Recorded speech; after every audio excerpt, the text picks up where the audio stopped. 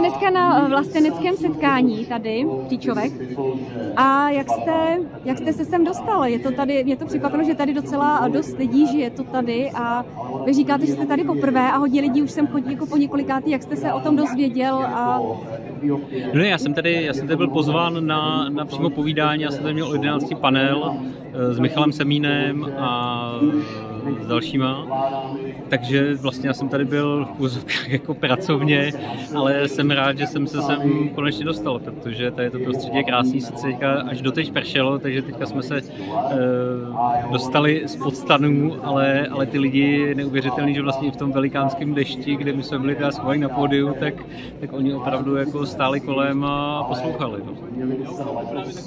no a vy jste tam měli takové, takové téma, jak to všechno přežít, se jmenovalo to téma a e, víceméně se to týkalo toho, jak přežít všechny různé krize, pandemie, současnou situaci, hlavně ze společenského hlediska, kdy je ta společnost rozdělená. Jaká je vaše rada v současnosti, jak přežít současnou rozštěpenou společnost a to, co nás všechno ještě čeká?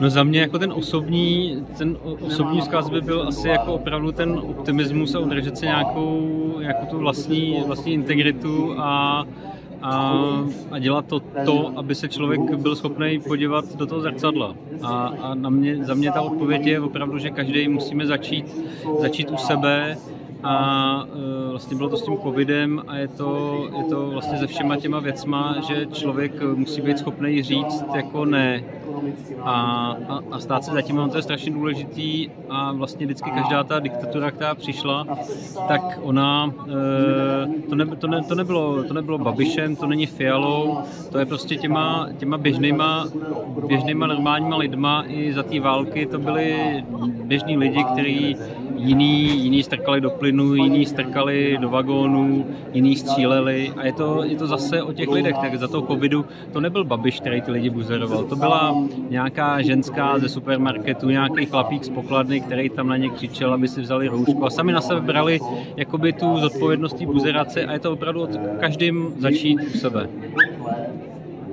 A je to, nepřijde nikdo, kdo by tu společnost spasil, zachránil, protože když se vymění Fiala, tak na jeho místo tam čeká 10 podobných gaunerů a nic se tím nevyřeší. A dokud, dokud bude ta společnost vlastně e, jako prohnila a e, vlastně bez jakýchkoliv hodnot a bez jakýkoliv morálky, jaká je teď, tak e, se to nezmění, protože ty lidi si pořád volejí vlastně lidi, jaký, jaký jsou lidi, taková je bohužel ta vláda. No.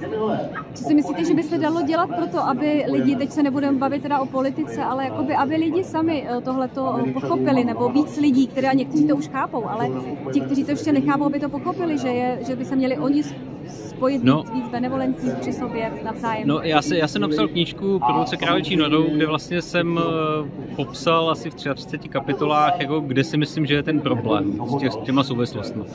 A teď se snažím dokončit vlastně další knihu a ta se jmenuje to právě Začít u sebe, a kde se to snažím jako pojmenovat tu cestu, která je za mě, ale ta je opravdu jako e, na každém z nás, ale, ale bohužel spousta těch lidí to nechce, nechce slyšet, protože e, já, třeba za toho covidu my jsme vlastně založili Zdravý forum, kde bylo třeba nevím, 40 tisíc lidí, kteří to sledovali.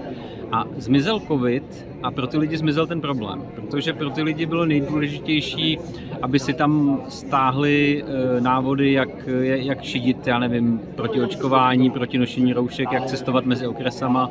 A jakmile zmizel ten problém, tak se vrátili zpátky k té televizi, k tomu pivku a vlastně oni nechtějí měnit sebe, protože to je vlastně to nejtěžší. Takže dokud se nezměníme sami sebe. Dokud nezměníme sami sebe a ty lidi nepůjdou, nepůjdou do sebe, ale to jsou prostě jako takový ty drobné krůčky, opravdu to, to naučit se říkat to ne, když vidím to bezpráví, umět se, umět se podívat do zrcadla a já myslím, že ten test jako ty společnosti se brzo vrátí, protože teď začínám sledovat, eh, nechci být špatným prorokem, ale přijde mi, že eh, začínají opravdu rozjíždět ty opičí neštovice a to, co předtím jako trvalo měsíce a týdny, tak teď se jim povedlo během pár dnů jo, protože vlastně je to, nevím, není to ani týden, kdy to VHO vyhlásila v podstatě už takový ne pandemický stav, ale takový jako velkou nouzi. No a najednou už máme příběhy, že první opičí neštovice máme ve Švédsku, jsou v Americe nějaký nakažený děti. No a včera jsem se dočet a to mi přišlo jako hodně zásadní, že opět náhodou se zjistilo, že vlastně hlavní lék nějaký, který byl na ty opičí neštovice, tak vlastně byl celou placebo a nefunguje. Takže opravdu ten scénář jako byl e, s tím covidem, protože na to, abyste mohli e, schválit vakcíny pro nouzové použití, tak nesmíte mít žádný funkční lék.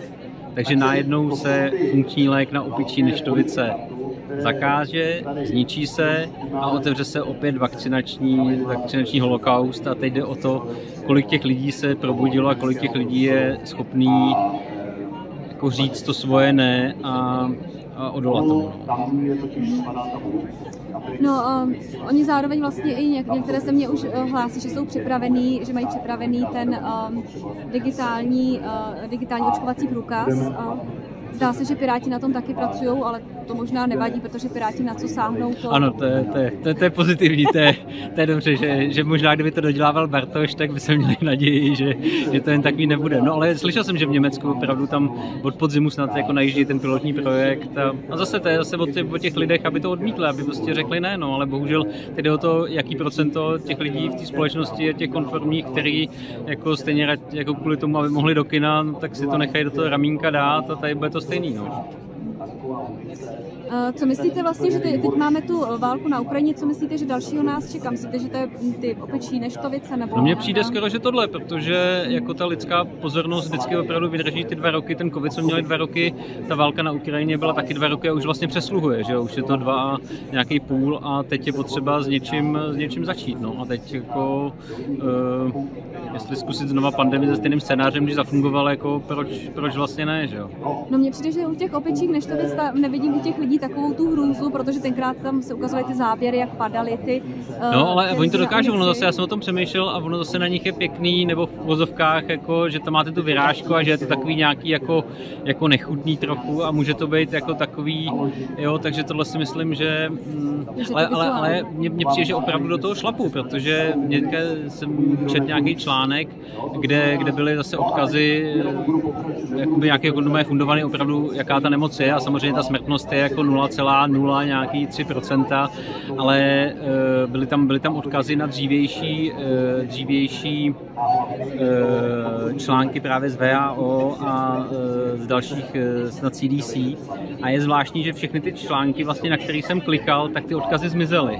Takže opravdu jako mažou ty stopy, kde, kde byly ty informace o tom, jaká je skutečná nebezpečnost a smrtnost, tak to prostě najednou z toho internetu začíná a z těchto těch stránek opravdu jako mizet a opravdu to zase není náhoda. Jo. Mm-hmm.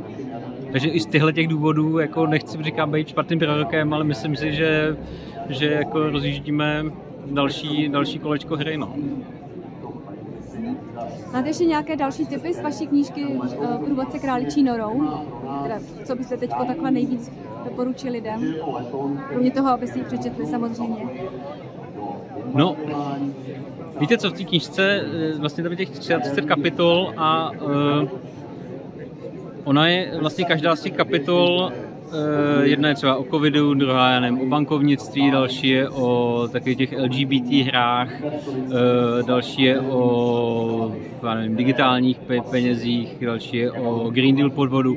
A to jsou všechno jako vlastně, vlastně témata, který každý z nich je jakoby nějakým způsobem zásadní, ale ty lidi si to uh, vlastně málo kdy spojují, že to je vlastně jeden globální problém, který je opět náhodně, náhodně vytažený na povrch. A to, to mi přijde, že to je vlastně, nebo, nebo to byl i účel té mojí knížky, proč jsem ji dělal, protože nikde vlastně e, nikde, nikde jinde jsem nenašel, kde by to bylo všechno vlastně na jednom místě vlastně jednoduše popsané. Já každý, dám každou tu kapitolku je třeba nevím, na 4-5 stránek, i když samozřejmě každá by z nich vydala na, na několik knih, ale právě tím, že jsou vedle sebe a vy to můžete přečíst všechno dohromady, tak mi přijde, že v tom je to nosný, že najednou i ty, který nechtějí vidět ty souvislosti, najednou si řeknou, wow, jako ona to opravdu není náhoda, že se tyhle ty věci dějou takhle dohromady a tímhle tím způsobem.